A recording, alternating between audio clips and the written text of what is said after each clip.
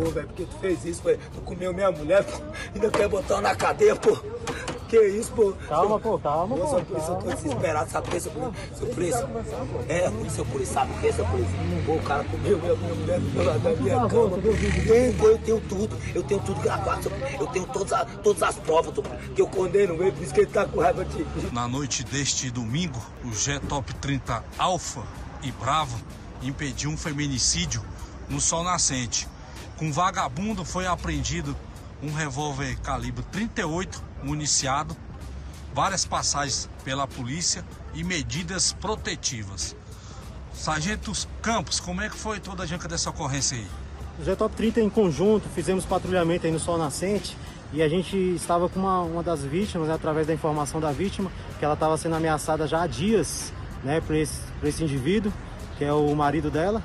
E através dessas ameaças ele estava falando que ia matar ela hoje com a arma de fogo.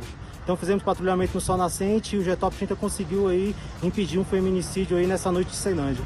Na última quarta-feira, esse marginal também foi preso aí com uma pistola, né, ô sargento? Positivo, chegando aqui na DEAN 2, a gente verificou aí que ele já tinha sido preso aí com uma pistola aí na, na semana agora, na quarta-feira, três dias, quatro dias atrás, ele teria si- sido preso com uma pistola em casa, também com as mesmas ameaças e para poder fazer, querer matar a sua esposa, na verdade, né? Mas hoje é top 30, como sempre, tá nas ruas de Ceilândia aí, evitando a criminalidade e evitando também o emi- o feminicídio. Seu polícia, aconteceu isso desses dias agora. Eu descobri que ele que tava comendo minha mulher primeiro. Aí depois eu gravei, o senhor vai ver, sabe quantos? Uns 50, 100 vídeos no meu celular, porque eu gravei. Sabe o que, eu fazia? Eu colo, a minha mãe tava, minha mulher tava falando sexofone. Sexofone. Foi. O sexofone eu mostro lá no celular, seu polícia. Eu mostro. Era só com ele Só com ele não, que eu sabia era só com ele. Tá, entendendo? a minha mulher botou ele 15, 15 da manhã lá pra dentro da minha casa, ele comeu a minha mulher lá na minha cama. Aí por isso que ele incriminou eu lá pra colocar essa. Eu vou provar pra ele, pô. Eu vou provar, seu polícia. Pô, velho, não pode fazer isso comigo, não.